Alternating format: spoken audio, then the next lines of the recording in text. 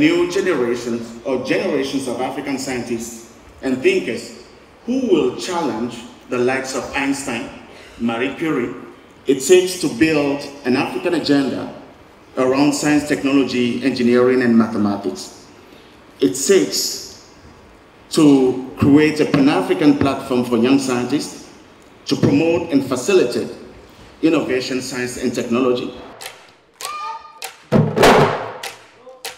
Yeah, I'm so excited, you know, with this platform for us to meet people from government agencies, from policymakers, clinical scientists, you know, space scientists, basic scientists from all levels, to see how we can actually come together to solve problems that are local to Africa. Les États membres de l'ONU ont adopté l'agenda 2030 de développement durable qui comprend un ensemble de 17 objectifs mondiaux pour mettre fin à la pauvreté, lutter contre l'inégalité et l'injustice et faire face au changement climatique d'ici à 2030.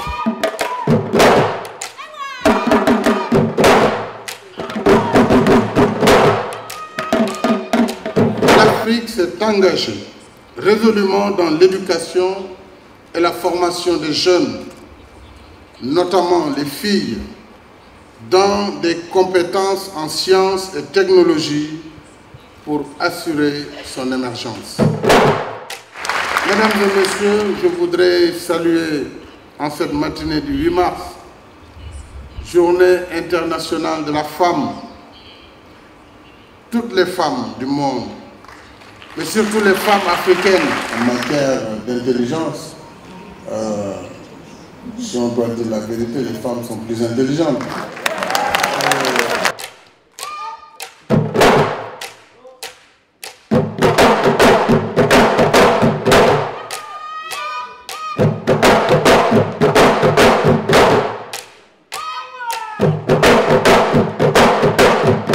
Permettrez, mesdames et messieurs, en ce moment précis, de remercier vivement le président Paul Kagame pour son leadership en matière d'innovation.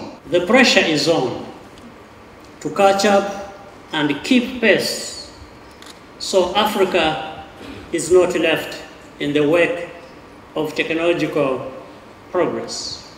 Our continent's wealth tomorrow depends entirely on what we put in our children's heads today. They will lighten the world's burdens, not add to them.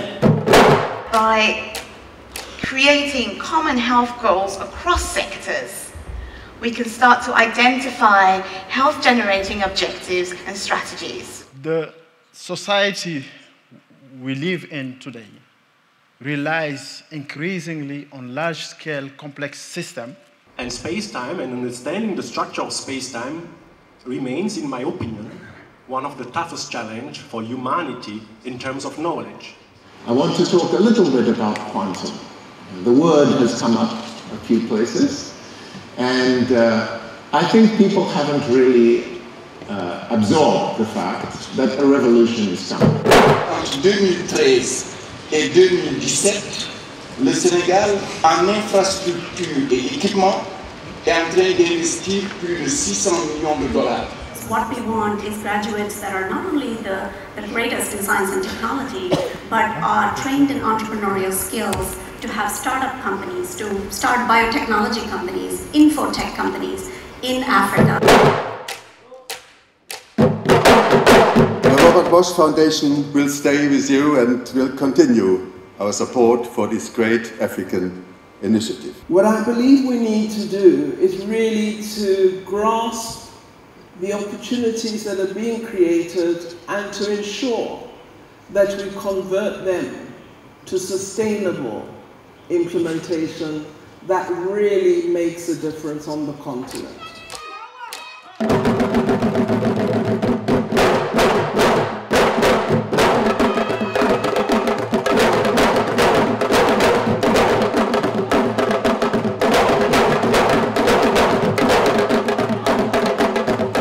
Looking forward to welcoming you to Kigali for the next forum in 2018.